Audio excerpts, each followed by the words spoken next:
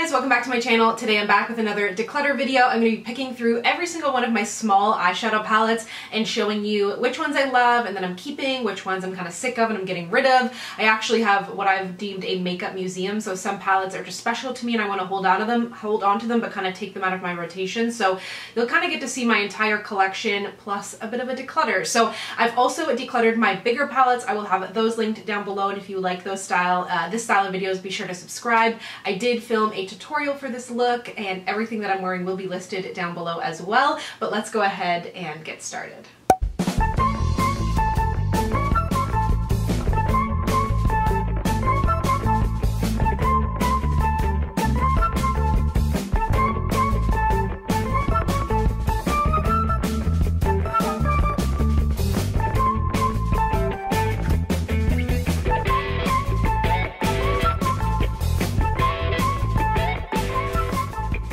Okay, so here is the full collection of palettes. There's about 64, 65 palettes here. I've got a, two bigger ones that I forgot to include in my bigger palette declutter, along with two brand new ones um, that uh, I just came across as well in my drawer. So let's go ahead and dig into this because I really don't use my little palettes very much, so I really should get rid of quite a few. Why don't we start off with the Dior palettes? They're right here. They're sticking out to me. Um, I mean, realistically, with most of these Dior palettes that I have here, um, these were all sent to me from the brand. They used to send me a lot of their collections, and while I do love Dior's complexion products, their eyeshadows to me are kind of not remarkable. Uh, in terms of like the formulation is generally pretty good, but the shade selection I generally don't love, and I don't find like I can get much of a look out of this let me switch sides so you can see the color better. But the problem is, is that I have a lot of nostalgia. so that's what holds me on to keeping onto these. I wish I just hadn't even used them. This was a really cute collection that had almost, if you can see it, sequins imprinted in the palette. Then I have this one here. This was just like a summertime one. I'll probably get rid of this. I liked this actually because it had the peachy, but like I just realistically not reaching for it. This was from that same collection. Again, I think it's beautiful, but uh, that one's kind of quilted. I'll definitely get rid of that one. This one was a Paris collection. If you can see embossed, it almost has like the Eiffel Tower. They were really beautiful. And then um, this one, I really love the colors in here. I can't remember what this collection was. So I'm going to hold on to a couple of these just for my makeup museum that I've mentioned before where I put makeup that is meaningful to me for whatever reason. So I'm going to hold on to this sequin one because I think that that's just a really beautiful design. I'll also hold on to the other one that has like kind of memory in it and some nostalgia is this Eiffel Tower one. And then I think I'll get rid of the other four. So that's good. Then I'm to go ahead and just straight up donate these two because it's not that I'm not interested in them and I actually really quite like the little, um, the other little one that I've tried. I already gifted another one to a friend, but I'm to donate these or gift them to friends. I think they're nice palettes and I clearly don't need any more eyeshadows and these are brand new in the box. Same can be said for this palette from Buxom, their White Russian palette. Um, it's it's a face and eye palette and I just don't see myself reaching for this with the shades are a little bit light for me. I don't tend to reach for these kind of things. So again, brand new in box. Someone else will enjoy that more than myself. I will go ahead and retire this to the Makeup Museum, the makeup, or sorry, Mariah Carey MAC collection. This was such, so exciting for me to get in PR a couple of years ago, but um, not something that I reach for. I did a whole, whole video on this back in the day. So, so far everything I've kept is just going in the makeup museum. This is MAC Patrick Starrr. That was a cool launch. I went to that. He was there and that was awesome. So I'll probably hold on to this as well. I think that's cool.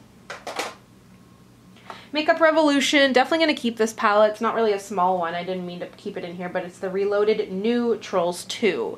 And it's just, if you know the type of eyeshadows that I like to wear, it's lots of pinks, reds. Um, I think they're beautiful and really great quality. And I'm also going to hold on to this Pure palette. Uh, I did use this in a couple of videos. I think this is super fun. Pure Barbie It's got these gemstones on it. I'm this camera cut me off there, but I was just saying that I'm normally not like somebody who would go after a Barbie collab, but they sent it to me and I ended up really falling in love with some of the shades. Some of them are quite unique to my collection and Pure does make really great eyeshadows. They're an underrated brand in my opinion. I've really liked what I've tried from them, but uh, yeah, I'm gonna hold on to this. I'm gonna get rid of these shadows from Makeup Forever. There's nothing wrong with them. This actually is I could keep so much from my makeup museum. This was actually from the first Ipsy I ever went to in Toronto, I think. Ipsy like glam bag kind of event. I think something early days and Makeup Forever worked with me when I had 5,000 subscribers or maybe less and it was just so insane to me. Um, and then these are the newer version of those shadows and again really beautiful. I mean maybe maybe I'll keep the newer ones because I do actually really love those shades. It's just like I don't find myself reaching for a mini palette like this but maybe I should um, and, and make use of some of this. I will get rid of the older one I guess. Sad. Can't all stay. I've got a bunch of Maybelline eyeshadows here. I've always been unimpressed with their eyeshadows until more recently they've stepped up their game, which I really appreciate because they really do kill it in like every other category or a lot of the other ones, but eyeshadow was something they really lacked. So Gonna hold on to this Nudes of New York. I think this is a great palette. It's nothing like revolutionary, but like I've mentioned before, I like to have a variety of drugstore, high-end. I like to have something, you know, ideally I would have like any brand, like Maybelline or something, I would have something from every category to be able to do a full face, if that makes sense, if the feeling arises. So I'm gonna hold on to that. I will also hold on to this Lemonade Craze. I'm a sucker for anything with yellow in it. Um, actually, you know what? I'm going to keep all of these. The City Mini palette, this is gorgeous. It's really pretty, um, a great green from the drugstore. And then doesn't hurt to have some mattes. Although, should I get rid of the mattes if I've got mattes in this palette? I can get all the same mattes pretty much, besides that shade, which is pretty. But realistically, I can kind of do the same thing. Cool that they came out with this matte palette, though. I was glad about that and a decent variety of undertones and shades. Okay, you know what? I'm gonna keep these two. Do I keep the two neutrals and get rid of the two colorful ones? Like, am I, am I losing it? Okay, maybe, okay, I'll keep these three, get rid of the mini. Uh, I don't know. Yeah, okay. Let's see what we've got here. Two higher end palettes, one from Viseart, which I'm definitely keeping. Viseart was a brand that I always like had my eye on when I first started watching YouTube. So it was really exciting when I was able to kind of afford purchasing my own. I can't say it's something I reach for a lot, but it is a nice solid palette and actually kind of reminds me of this, but like the much higher end version, not exactly the same. But anyways, definitely going to hold on to this from Viseart. And then YSL, what is this? Oh, getting rid of this. This is a great example of me holding on to something because of the packaging. Has nothing to do with the shades, so this will go. Definitely going to keep these two palettes here. Um, I love this palette from ColourPop. I included all my other ColourPop palettes in the big eyeshadow palette declutter that I will have linked down below, but this was their first palette that I think I got from them. It might have been my first three looks, one palette. It's phenomenal. Obviously very well loved. I am going to keep this from Essence. It's their Fire palette. Um, again, those warm kind of shades, but I like to have a variety and it's a good drugstore option. Quite affordable, cruelty-free. Available at Shoppers. Okay, uh, I think I've since decluttered all the rest of my Rimmel palettes in other videos, but I think that these are so good. I'm going to keep them both. I love Rimmel's eyeshadows. I also love CoverGirl's. I've, you know, had all of their palettes and since decluttered them. This is what's remained, so I'm definitely going to keep them. You have uh, this palette, the gold in here makes a great highlighter. Fun fact. These from e.l.f., let's see. I really like e.l.f.'s eyeshadows. I've got a bunch of them here. Ooh, that's pretty and I never reach for that. I'm gonna get rid of this. It's pretty, but again, it's like, I can find that anywhere. I will keep this one. That is Jewel Pop. That will stay. The other will go. Some random smaller palettes. This was the Latte Gen Nude Bare Minerals. Again, very similar to like the other things I have going on, and I'm going to keep it just for variety's sake. Uh, and I love this Ablaze palette from Smashbox. I love their like their little mini palettes. This was my favorite for sure. two great little palettes here from Physicians Formula. They had little eyeshadows out for a long time, but never these kind of warmer shades and warmer tones. So I was excited when they when they launched these. I think these are great basics for anybody to pick up. I'm going to get rid of this one. They're both fine. Like I could easily make use of them, but um, I will just hold on to one in smoky bronze and I'll get rid of this one, but they both are good options. Uh, classic nude We'll go. Some Avon palettes here. One of these I really loved. Oh, this one I kept because of that orangey shade. I'll get rid of it.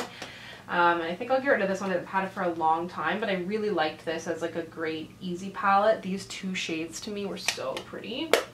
Okay, Wet n Wild. Definitely have a makeup museum uh, contender here or definitely just like you know the, the vanity palette. You know what I mean? I swear I swear I had something to do with this. Because I remember going to a wake uh, make uh, makeup event with um, Wet n Wild and their VP of marketing was there and I was telling her about the importance of like a warm brown and like a great cream shade. And then all the palettes they came out with, I was like, do you understand how much we love this in the beauty community? Anyways, this is going into the makeup museum. That will go. Uh, I'm Getting Sunburned was an old classic. It was never like my like favorite or anything, but I did love that gold. I will get rid of it. Same for the um, Petal Pusher palette. They'll both go. I love them. I love them so. Uh, this I dropped and broke. The blue shade two days ago, which is so annoying. So I'm going to get rid of it. I will hold on to their other two palettes. These are phenomenal from Wet n Wild. I've got videos on them.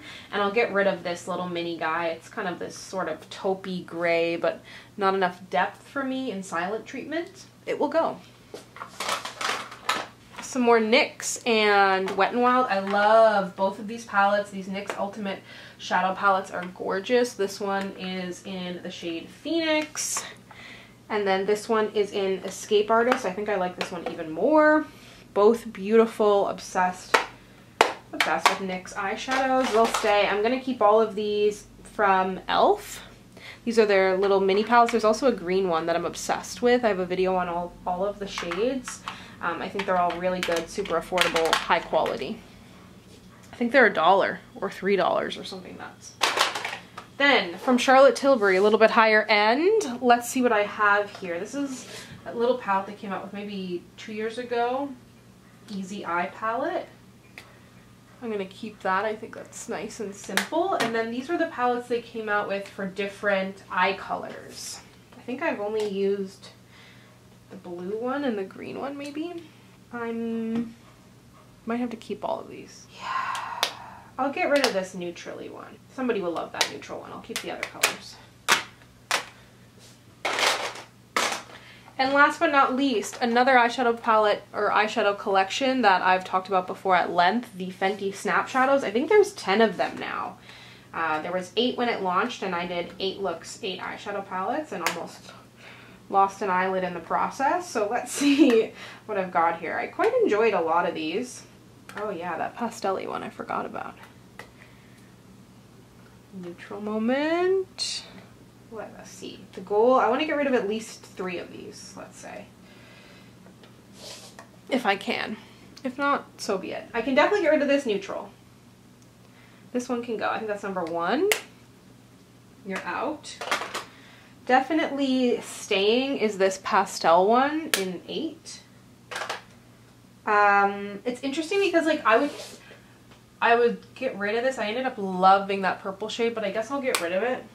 This one, mm, okay, I want to keep the pink. I actually thought this smoky one, surprisingly, I enjoyed on myself. It's kind of unique for me. This one was the one I wanted to love and didn't love that much because the greens just didn't do it for me. It almost did like a subculture thing. And I love that mustard, but it just didn't do what it actually wanted it to do. And I want to keep it because I feel like it has, like I still believe in it, but it showed me. It showed me its true colors. So that will go. Um, this one I guess I can get rid of too, number three. And then I'll hold on to this peach one because, you know, you know me. So here is the finished product. I'm getting rid of about 24 palettes and keeping 40 something palettes. So 30 something percent leaving the collection. Really glad about this. I had a bunch in here that just were sticking around for no reason, especially considering I barely reach for small palettes. Um, but as I mentioned, it's hard for me to get rid of anything. So I think I did pretty good. Thank you so much for watching. If you are curious about the shelters in Toronto that I like to donate my extra unused product to, I will link them down below. Lots of great uh, shelters here in Toronto. Can't donate to all of them right now, but good to get in touch and see when things do open back up. Uh, if you are also a makeup lover and have some untouched makeup, it's really nice to be able to hand it along because it's such a luxury uh, to be able to use and I'm really grateful to have as much as I do. So thank you so much for watching. If you'd like to connect with me, you can find me on Instagram, Twitter, and Facebook at Samantha Jane YT, and I'll see you guys next time. Bye!